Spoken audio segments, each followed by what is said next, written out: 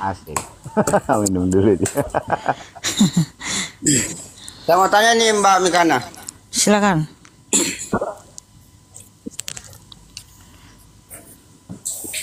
Waktu Yesus lahir itu, waktu Yesus lahir, apakah dia sekolah?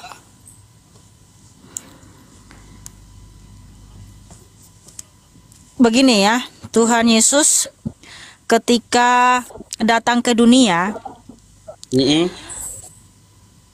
dia datang berkenosis ya, Filipi 2 ayat 6 sampai 8 di mana Allah itu sendiri datang ke dunia Yohanes 1 san- Yohanes 1 ayat 1 sampai 14 bahwa sang pencipta itu datang ke dunia. Ketika dia datang ke dunia di situ dikatakan mengosongkan dirinya sendiri ya. Dia datang dalam rupa seorang hamba dan menjadi sama dengan manusia ya selama 33 tahun. Jadi Tuhan Yesus mengikuti apa yang eh, tradisi di Yahudi itu menurut hukum Taurat ya. Tetapi ketika Tuhan Yesus mengajar di bait Allah yang tertulis di Yohanes 7, ya kan? Bahkan ketika sebelum itu ketika Tuhan Yesus masih umur 12 tahun dalam uh, Iya. rupa seorang hamba, ya. Di Lukas 2 ketika dia bersoal jawab dengan imam-imam uh, kepala alim ulama, alim ulama ini sampai heran 12 tahun umurnya seperti ini kok cerdas sekali. Dari mana diperoleh semua itu? Ini kenapa nih merokok ya? Bang abang ini. Enggak, enggak. Kok Banyak ada- obat nyamuk.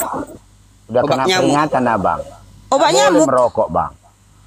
Soalnya ada notifikasi masuk ya.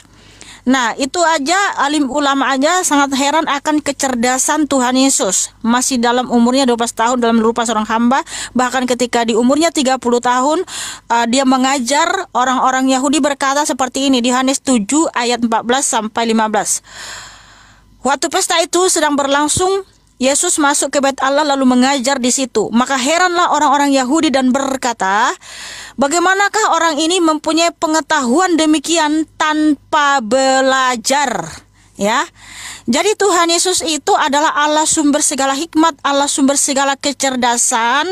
Makanya terbukti eh, penerima hadiah Nobel terbanyak itu adalah Kristen dan Yahudi. Kristen Amin. Yahudi Puji itu Tuhan. Haleluya. Tuhan yang disembah itu sama itu Yotevave karena Tuhan sudah Yotevave itu sendiri.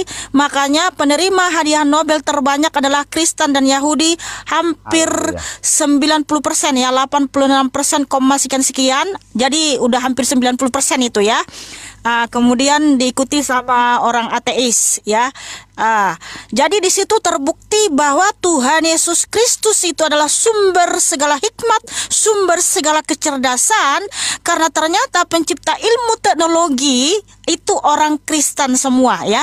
Ya, karena 86% penerima hadiah Nobel pencipta ilmu teknologi ya, itu Kristen. Itu buktinya bahwa Allah yang kami sembah itu sumber segala hikmat, sumber segala kecerdasan ya. Haleluya, haleluya.